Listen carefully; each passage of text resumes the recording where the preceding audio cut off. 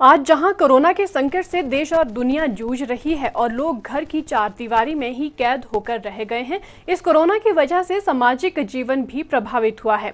शाहपुर के दुर्गेला पंचायत के गाँव ठंबा में एक परिवार कोरोना की वजह से अपने बेटे की शादी नहीं करवा पाया। हालाँकि शादी की सभी तैयारियाँ पूरी हो गई थी, लेकिन सात समंदर पार सऊदी अरब में बैठा लॉकडाउन की वजह से उनका बेटा घर नहीं पहुँच पाया।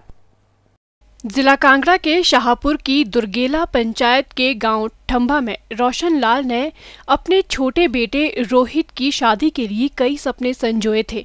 रोशन लाल अपने इंजीनियर बेटे की शादी धूमधाम के साथ करना चाहते थे। 12 अप्रैल को घर से बारात की तैयारियाँ भी मुकम्मल हो चुकी थी। शादी के रस्मों रिवाज की हर तैयारियाँ हो चुकी थी। बस इंतज़ार था तो सिर्फ़ सात समुद्र पार सऊदी अरब में बैठे रोहित के आने का।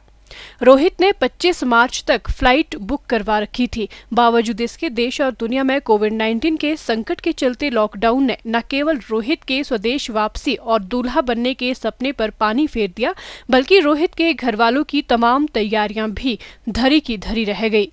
हिंदू धर्म के रीति रिवाजों के मुताबिक एक बार शादी का मुहूर्त निकालने के बाद उसकी तारीख पक्की कर दी जाए तो उसे टालना किसी भी सूरत में अच्छा नहीं समझा जाता।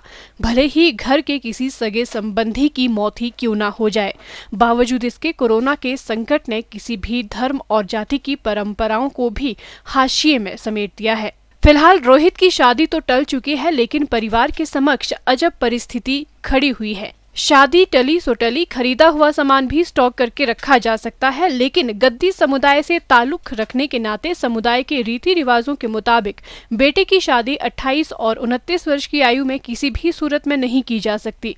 रोहित की उम्र इस वक्त 27 साल है और कुछ महीनों के बाद रोहित 28 साल का होने वाला है। ऐसे में अब ये शादी अगले 28 साल तक के लिए टलती हुई नज़र आ रही है।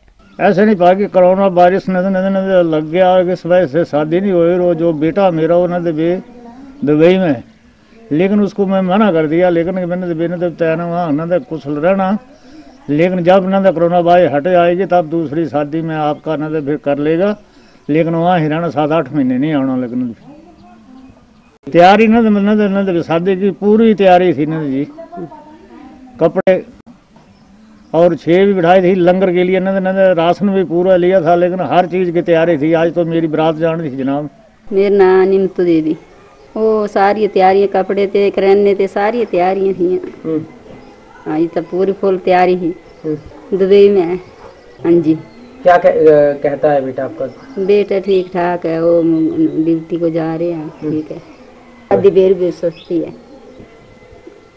शादी बेर भी हो सकती है कहने बेटा ठीक ठाक रहा उधर पाँच छः सात महीने बाद हो सकती है शादी भी और जब ग्राउंड ठीक हो जाए तब आ सकता ना वो दुबई में एच टी सी कंपनी में है वो दुबई में तो उनकी शादी थी आज तो अच्छी धूमधाम से मनाने जा रहे थे हम लोग तो मेरा कहना है कि मैं एक महीना पहले छुट्टी लेके आ गया था और यहाँ पे पूरा काम कुम के लिए पूरा एकदम साफ़ सफ़ाई के लिए कर रखा था।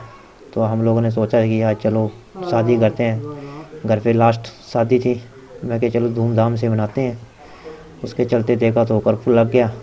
वो छोटा भाई फिर बाहर फंस गया। उसका आने जाने की, आने जाने की कोई संभावना नहीं रही। तो अब जब कोरोना वायरस हटेगा तो उसके बाद देखते हैं, पाँच सात महीने के बाद जब ये शांत हो जाएगा। तो उसके चलते फिर आएगा दोबारा तो। सिटी चैनल के लिए धर्मशाला से नृपजीत निप्पी की रिपोर्ट।